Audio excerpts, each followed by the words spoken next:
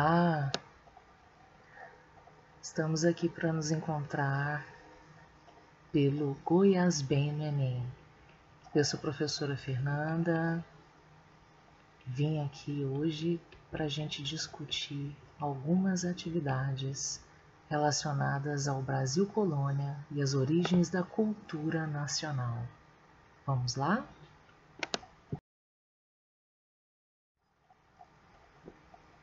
Nós estamos trabalhando com a competência diária 1 e consiste em compreender os elementos culturais que constituem as identidades. As habilidades serão a habilidade 1, que consiste em interpretar historicamente ou geograficamente fontes documentais acerca de aspectos da cultura. A habilidade 5 consiste em identificar as manifestações ou representações da diversidade do patrimônio cultural e artístico em diferentes sociedades. E uma primeira atividade que nos chega é do Enem de 2020, porque todos confessamos não se pode viver sem alguns escravos que busquem a lenha e a água e façam cada dia o pão que se come e outros serviços que não são possíveis poderem se fazer pelos irmãos jesuítas. Máxime sendo tão poucos que seria necessário deixar as confissões e tudo mais. Parece-me que a Companhia de Jesus deve ter e adquirir escravos justamente por meios que as constituições permitem, quando puder, para nossos colégios e casas de meninos. História da Companhia de Jesus no Brasil. Queridos, queridas, conversemos um pouco sobre a Companhia de Jesus, criada por Inácio de Loyola no século XVI, que teve então a função de formar padres missionários enviados tanto para territórios colonizados por Portugal quanto pela Espanha. E será muito relevante o trabalho exercido pelos padres jesuítas no processo de colonização desses territórios, e em especial do Brasil. Os padres jesuítas vão exercer um papel ideológico da colonização. Os padres jesuítas vão fazer o papel de trazer a cultura europeia não só ao indígena, que é um elemento que viabiliza a escravidão através do catolicismo, através da catequização, mas vai trazer também a legitimação da colônia sob a égide da metrópole. O catolicismo traz a possibilidade da hierarquização, da submissão ao rei, da submissão de uns aos outros, da pele branca em detrimento da pele negra, da reza católica em detrimento da macumba ou da umbanda, vai ser fundamental a presença dos jesuítas nos territórios colonizados. E no Brasil, eles vão constituir um pilar muito importante da identidade cultural. Eles vão ser uma via muito importante para que haja a escravidão.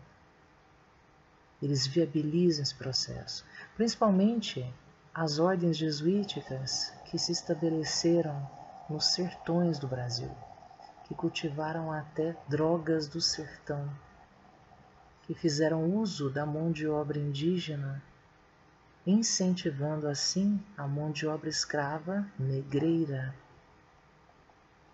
E é nesse sentido que eu coloco para vocês. Além dos colégios católicos instaurados nas praças ao lado das igrejas, semeando, portanto, as vilas, no futuro, as primeiras cidades do Brasil. Fica a dica, hein? muito importante a Companhia de Jesus para o processo de colonização e formação do Brasil sob a égide do controle português. Vamos continuar na atividade. O texto explicita premissas da expansão ultramarina portuguesa ao buscar justificar a propagação do ideário cristão ou seria de valorização do trabalho braçal, ou da adoção do cativeiro na colônia, que seria a escravidão, ou adesão do asceticismo contemplativo, já foge um pouco da ideia religiosa católica, da alfabetização dos indígenas missões. Isso seria um romantismo excessivo. Vejamos qual será o item correto. É aquele que então usa a Companhia de Jesus como mecanismo de justificar a adoção do cativeiro, da escravidão na colônia. Letra C. Vamos para a próxima atividade? Seguindo esse raciocínio da religião católica como um pilar fundamental para a colonização portuguesa exercida sobre o Brasil, Observe a primeira imagem. É uma imagem de São Beneditino. Nós temos aqui o site de acesso, onde estava disponível.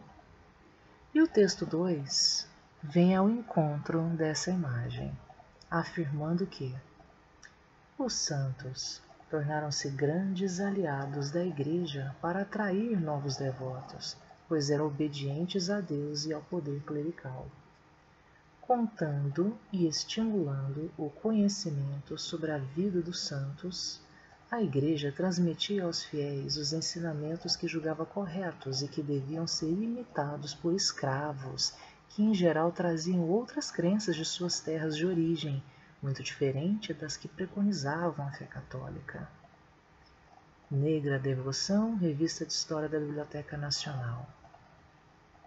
Perceba você mais um texto, mais uma atividade do formato trazido pelo Enem, que mostra a importância da Igreja Católica, dos padres jesuítas, no sentido de trazer para o seio da Igreja, para o seio da obediência à colonização, através da catolicização, da catequização ao ponto, muitas das vezes, dos santos terem uma função não só sagrada, religiosa, mas também didática, como uma demonstração de homens e mulheres devotados ao catolicismo, como forma de exemplo a ser seguido para aqueles que fossem fiéis ou ouvintes das missas, no caso, os próprios escravos.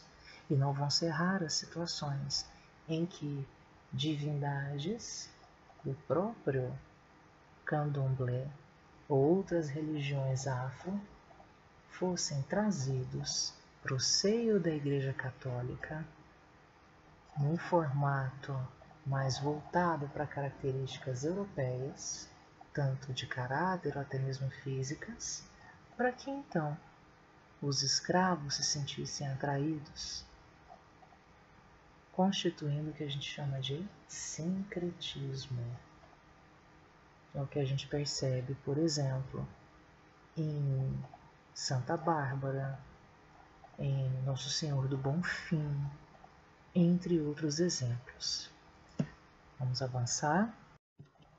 Posteriormente, ressignificados no interior de certas irmandades e no contato com outra matriz religiosa, o ícone, o ídolo, a imagem e a prática mencionada no texto estiveram desde o século XVII relacionados a um esforço da Igreja Católica para cristianizar a população afro-brasileira, trazendo elementos da religião afro para o seio católico e atraindo, portanto, os escravos, viabilizando a escravidão, submetendo-os à colonização. Não era para reduzir poder de confrarias, ao contrário, isso fortalecia as confrarias católicas, seja de sacerdotes ou até mesmo de homens comuns, porém poderosos, não era para espolhar recursos materiais dos cativos, mas não era uma hipótese que tivesse excluída também. A grande questão é que ela não casa com o texto, tá? Nem para recrutar libertos para seu corpo eclesiástico, não é uma proposta do texto. Muita atenção a questões assim no Enem. Muitas alternativas convergem para afirmações corretas, mas elas não casam com a proposta do texto.